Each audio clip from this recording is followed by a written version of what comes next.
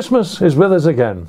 It comes round every year, and you know, it marks our passage through the voyage of our lives, doesn't it? I'm sitting here in the lounge of my little cottage in the New Forest, not far from the West Solent. The wind's howling outside, and it's not a nice day at all, but I've got my fire burning and I've got my glass of sherry, and I'm thinking about Christmas is past, really. I'm thinking about three particular ones that, that, that stick in my mind, and they're very, very different. The first one started, when was it? Goodness me, back in the 1970s, mid 1970s. Ros and I were bound south for Rio on our little gaff cutter, the little Colin Archer boat Saari, the, the Norwegian pilot cutter built by the great man himself in 1903 and we'd had a rough passage. It was it was winter time in the northern hemisphere, and we'd had a hammering from the northeast trades, which we were taking on the beam as we went down towards Cabo San Roque on the corner of South America, and. For a while, it looked as if we were going to struggle to weather Cape San Roque because the easterlies were driving us down. The equatorial current was carrying us down towards the Caribbean, and we were we were close hauled, taking a beating. And as we went round the Cape, we were expecting we were expecting to hit doldrums as we passed between the northeast and the southeast trades, and really the wind never stopped. It kept on blowing, um, but we had some very strange weather. The, uh, the, the, the great squalls came down on us, and there were odd patches of calm, but mostly it kept on blowing, and the wind veered slowly round towards the southeast. It got worse and worse as we were being pushed in onto the South American coast, but we pressed on, and then one morning as we were just rounding the cape, we could almost see it. It was, in fact, we could see the lights of Recife, uh, the loom of Recife in the clouds. We were that close.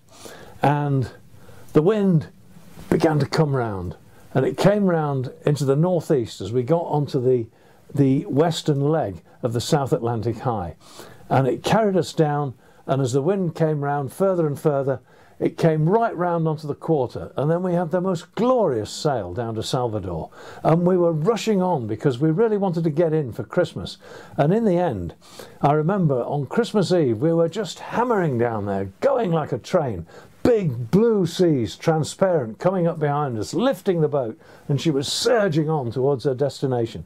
And you know, the seas were so clear that we could see the big Dorado following our lure as we, as we roared along, surging down towards Christmas. And, and we arrived in Salvador on Christmas Eve, just before dark. Got our anchor down off the Mercado Modelo, which in those days was a place where all the working vessels of, of the great Bay of All Saints, the Bahia de Todos os Santos, where they all gathered uh, to, to, to put their produce ashore. And because it was Christmas, they were all in there. And there was an almighty party going on. There was wonderful, wonderful samba music coming out of this great echoing building, Dunka Dunka, wonderful. And there were two other yachts in there. There was a, a British yacht, uh, uh, which was crewed by a milkman from Birmingham and his very talented and beautiful wife, and that was a West Solent 1 design, a most unlikely vessel to be cruising the seas, but there she was.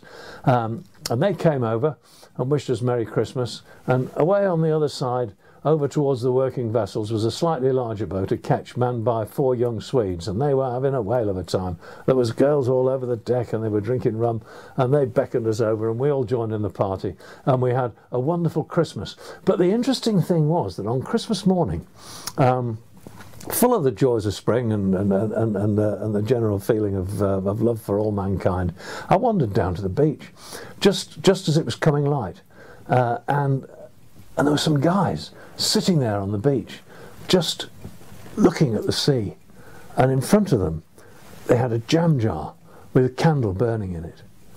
And they were the Macumbistas, they, they were the voodoo men. And that was another world altogether. Um, quite how they fitted into the Christmas scene, I never found out, but it was a powerful thing to see these men just sitting there very quietly, looking out to sea for who knows what, with their candles burning. Yeah, so that was one Christmas.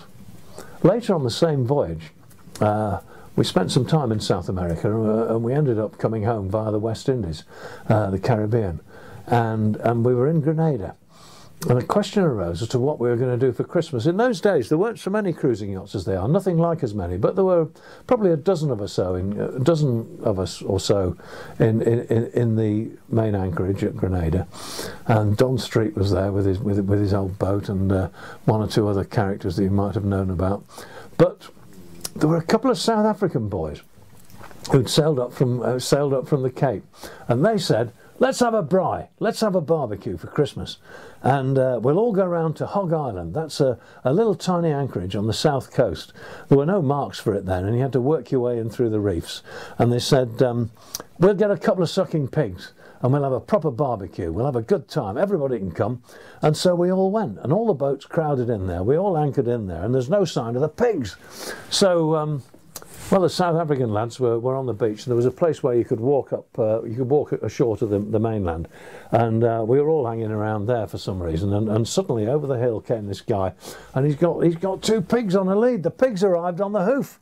So the question then arises who was going to do the dreadful deed. Well, of course, I've got to say that most of the Europeans were a bit uh, squeamish about this, but not the South Africans. They knew what to do, so they took them behind a bush, and uh, that was that. I'm afraid it was a, it was a brutal business, but my word, it made for a great Christmas barbecue, and um, those little pigs came to a good end because what they had to offer went into us and made us stronger and uh, allowed us to celebrate something really special. And uh, we all had palm fronds at our mastheads because we couldn't have Christmas trees. I'm a great believer in having a Christmas tree at a masthead uh, when you're celebrating Christmas. But uh, that year we had palm trees.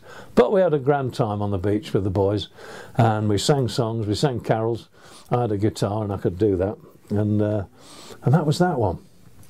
And the last one I want to talk about was nearer to home.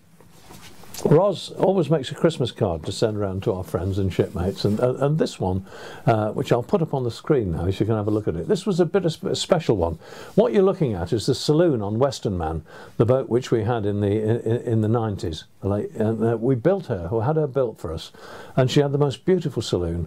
And we'd often spend Christmas on board in Beaulieu at uh, at the marina at Beaulieu. We'd bring her in. Well, not really at the marina, at the bottom of the village street. There's a bit of a berth there, and it was lovely absolutely lovely. And one winter, everyone had gone to bed, and I was just sitting there by myself, and uh, a few thoughts came to me. And uh, the bogey stove was burning, the lamps were turned down, and I was just thinking about Christmas and what it really means, actually. And uh, this is what I thought. I'm going to have to put my glasses on, so I will. I wrote these words that night and put them on the Christmas card. Midnight, the bottom of the tide, all hands turned in, and not a breath of wind. A clink in the grate as a log burns through on the stove. A whisper from a slow burning lamp. A crack from a frozen stern line stretched by the young flood. The river waits, spellbound in starlight, for high water, for Christmas morning, and God with us. Cheers.